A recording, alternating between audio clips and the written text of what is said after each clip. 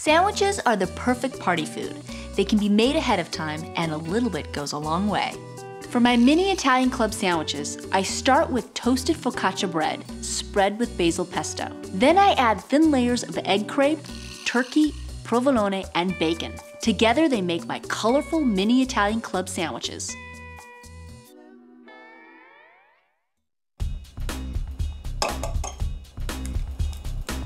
The surprise ingredient in my mini Italian club sandwiches are the egg crepes.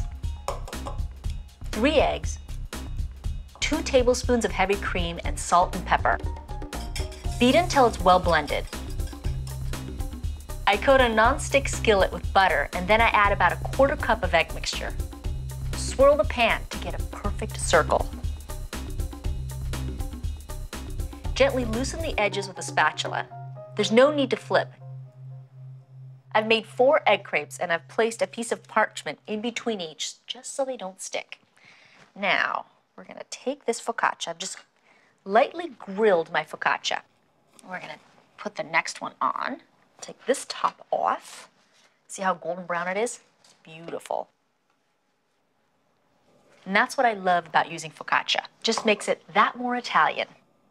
Now focaccia is sort of a, um, it's a little thicker pizza dough. And what they do is they have little dimples on top so you can top it with anything you want. This one's got some herbs and olive oil. And we're just going to spread a little bit of pesto on the bottom and the top half. And I just buy pesto at the grocery store. You can definitely make your own, but to make this even faster, just buy some of your favorite pesto. Doesn't have to be too thick of a layer. It also gives it a wonderful green color, which I love. Okay, so we'll start with an egg crepe. Thin, airy, and light. See? Fits perfectly. Next, we will do some bacon. There we go. We're gonna add five slices of bacon. And what I love about the sandwich is the colors, all the different colors and the different textures and flavors. So the smokiness from the bacon, the light airiness from the crepe. We'll add some turkey, add a few slices on this. Want to keep it on the thin side. That way when you bite into it, all the flavors meld together. You're not sitting there chomping on, you know, different thicknesses of different meats. Well, one more. What the heck? One more.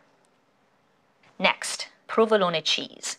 What I love about the provolone, it's sharp and sort of spicy, picante. So it is yummy. And now I'm going to take the top. I'm going to add some more of the green pesto. See all the colors? That's what makes it look so pretty and elegant. We are gonna add one more little crepe. And see, once they're cooled, they're very easy to handle. You top it. There you go. And now, instead of cutting it up now, I'm gonna wait and cut it up at my friend's place. Just makes it easier to transport if I don't cut it now wrap it in some foil.